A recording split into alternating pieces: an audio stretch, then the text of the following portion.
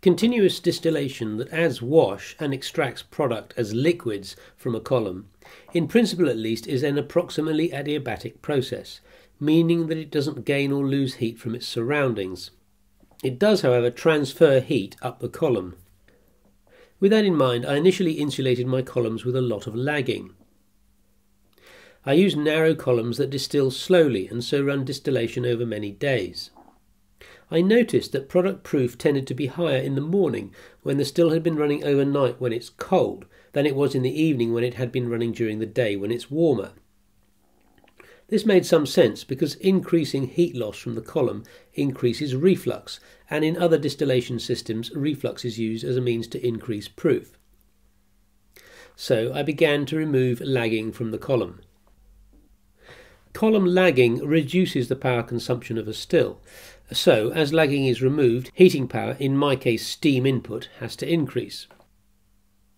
The process of optimizing steam power by manual adjustment is tedious and time consuming, taking several days. Because of this, the effect of changing the amount of lagging on the column wasn't really apparent until I came up with an automatic way of optimizing the amount of steam required to heat the column. My video on controlling columns explains how I do this with a negative feedback loop based on column temperatures. The system pins the temperature of the bottom of the column so as to control the alcohol content of the bottoms. With that fixed by the feedback system, it is possible to observe the effects of changes in the amount of insulation on both power consumption and product proof. In this video, I give my findings. I ran the still with four different levels of insulation. Fully lagged had about a 4 inch layer of glass fibre insulation around the whole column, which I'm calling lagging level 4. Lagging 3 was the same but with only half an inch of glass fibre around the top of the rectifying column. Lagging 2 was with half an inch of lagging around the whole rectifying column, and lagging 1 was with bare copper pipe for the lower half of the rectifying column and half an inch of lagging for the top as shown here. In all cases, the stripping column was fully lagged with 4 inches of glass fibre. Here are the results showing the power consumption that the feedback system settled on and the alcohol concentration of the resulting product we can see that at every stage, adding insulation reduces power consumption and it also reduces product proof. And similarly, removing insulation increases power consumption but increases product proof.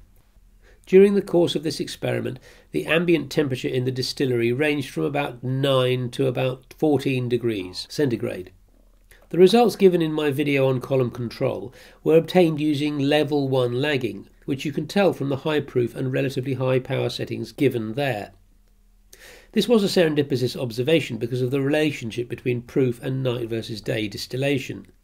It does make sense because higher heat losses from the lower part of the column equates to more condensation of vapour and shortening of the lower stages, giving more room for the higher isothermal stages. Level 1 lagging leads to around a 50 watt increase in power consumption and as the still runs continuously for weeks, that adds up to a significant cost. I've calculated it adds about 10% to the price of producing a litre of alcohol, where the total price includes yeast and the materials used to make the wash and energy.